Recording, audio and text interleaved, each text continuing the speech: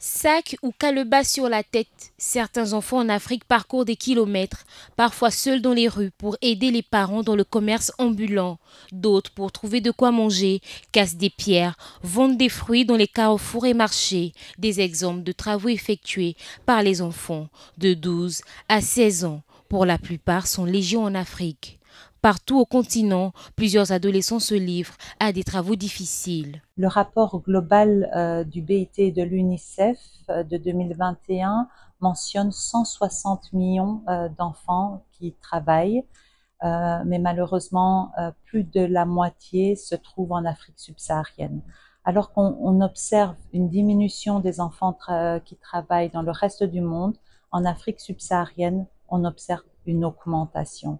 Et sur ces 160 millions, globalement, la moitié exerce des travaux dangereux. Il est vraiment important que nous agissions et que nous accélérions nos, nos actions contre ça. Pour recenser ces enfants, nous avons les enquêtes démographiques et nous avons aussi également les données de routine qui nous sont rapportées euh, par les personnes qui sont sur le terrain. En Afrique subsaharienne, l'agriculture de subsistance concentre 82% du travail infantile, contre 71% à l'échelle mondiale. Le secteur agricole en lui-même, mais des contraintes lui sont associées. Le Gabon n'est pas en reste de ce phénomène grandissant. Le Gabon et la plupart des pays africains ont un cadre euh, normatif, un cadre juridique qui détermine que le travail des enfants est interdit en dessous de l'âge de 16 ans, pour prendre l'exemple du Gabon. Euh, les enquêtes démographiques de, au Gabon de 2019-2021 ont montré que la plupart des enfants travaillaient dans les secteurs de l'informel. On parle de 15% des enfants sur le sol gabonais effectuant des travaux euh, euh, dangereux, 7% dans le domestique, 5% dans l'économique. Les garçons sont généralement les plus sollicités.